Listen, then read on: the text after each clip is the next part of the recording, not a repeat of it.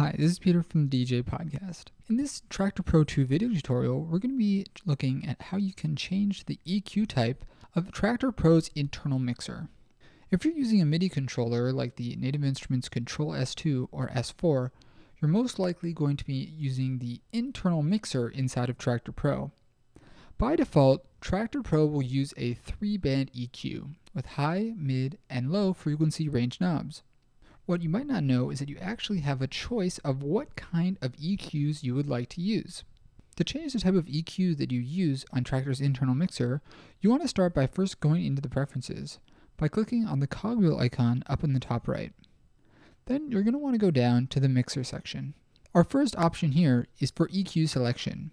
The classic EQ type is by default a 3-band EQ with a minus 24 to plus 12 dB adjustment and the kill switches cut the entire frequency range. Let's take a look at some of the other options we have by simply clicking on the drop down menu. We can either choose one that emulates different hardware mixers, or we can choose the new Z-ISO EQ, which is from the 2.6 update. There are five additional EQ types that are meant to emulate classic DJ mixers.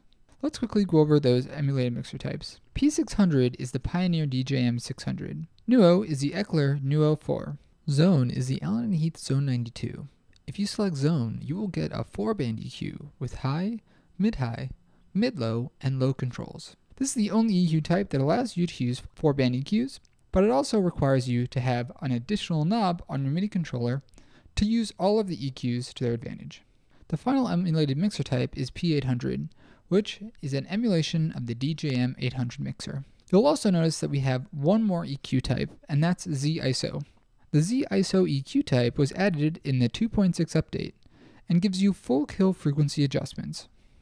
Each emulated mixer setting changes the frequency range volume adjustment and the level of reduction when the EQ kill switches are activated. If you'd like to see the exact technical specs of each individual mixer type, check out the Traktor Pro 2 manual. If you would like to see more videos on Native Instruments Traktor Pro 2, subscribe to our YouTube channel at youtube.com slash the DJ podcast or download our video tutorials at thedjpodcast.com. Don't forget that you can also follow us on Twitter at twitter.com slash the DJ podcast and like us on Facebook at facebook.com slash the DJ podcast. Thanks for watching.